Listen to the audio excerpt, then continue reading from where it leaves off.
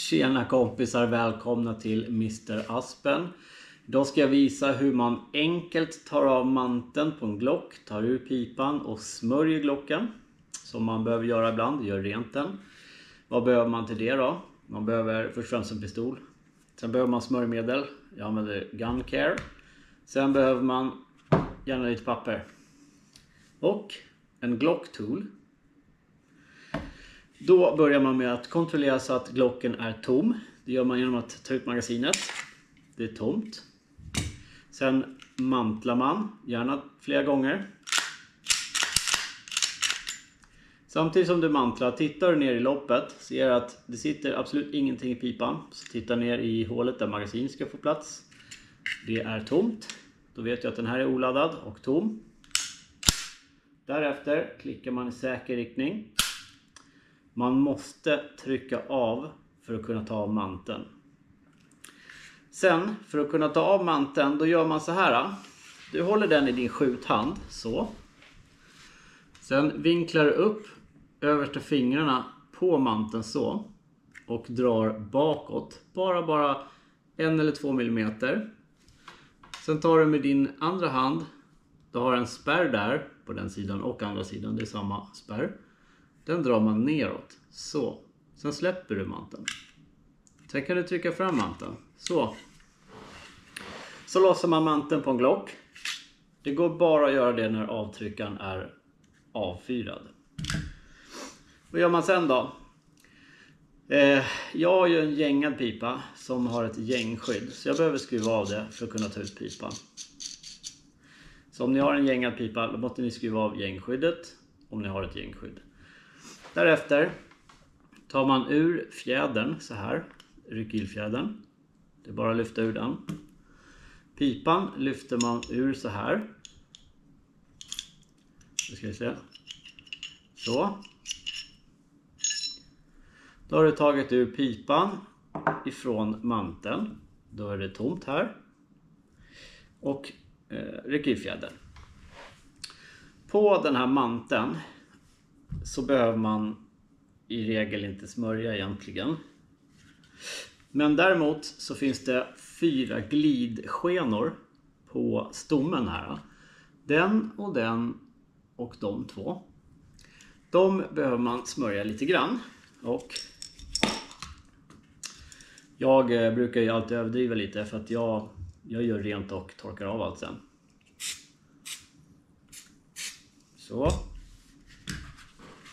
Se gärna till så att ni har en schysst matta eller handduk under. För att det blir ju oljigt och skitigt.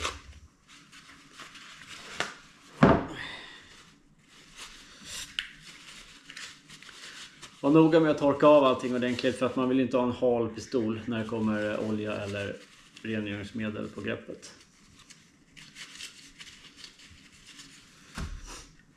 De punkterna behöver man hur som helst smörja.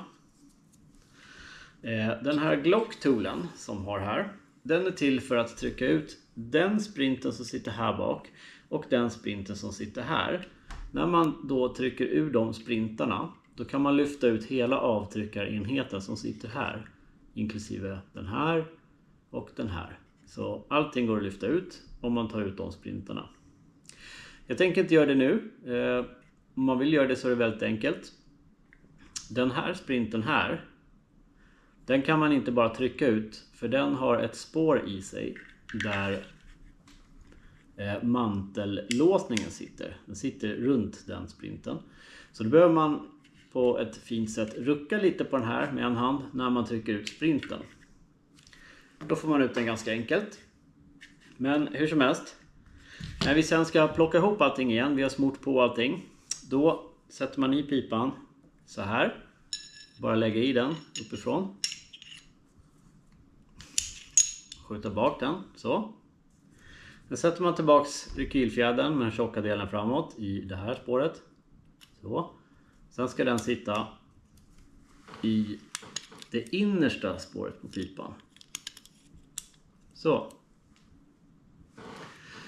Eh, när man sen har satt i pipan och rekylfjädern så sätter man, skjuter man bara på manteln framifrån så här och bakåt. Så. Och sen låser den. Nu eh, om man drar den lite för långt bak då kommer ju avtryckaren att eh, spänna sig. Så ser det ut. Sen kan man behöva smörja lite här uppe. Där pipan går mot manteln. Här brukar jag lägga en pytteliten droppe olja så att den flyter på lätt. Det där är inte en liten droppe men jag är bara för att demonstrera. Så. Det är lite överkurs egentligen. Men det är skönt att ha det smort. Så ser det ut.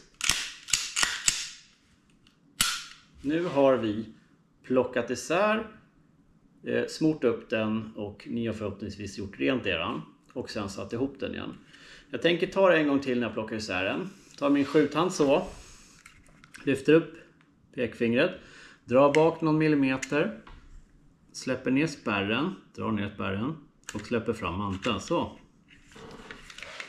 Så. Och då har man plockat isär Glocken. Ja, vi kan ju ta ut pipan också. Fram, bak. Så. Jätteenkelt. Så. Sätter ihop den igen. Så. Nu skruvar jag på mitt gängskydd igen. Så blir man ju alltid svart om händerna. Jag hoppas att den här filmen hjälper någon av er som eh, inte riktigt är säker på hur man tar av manteln. Har ni några frågor så skrik till. Prenumerera gärna på kanalen och bli medlemmar så får ni tillgång till en grundkurs i PSE online där man får se hur en grundkurs i dynamiskt skytte går till. Om man nu planerar att gå en. Jag håller också på att lägga upp en fortsättningskurs också för långa vapen, alltså IPSC-gevär. Så ta det lugnt, skrik till om ni har några frågor och hoppas att ljuset som är i den här filmen räcker.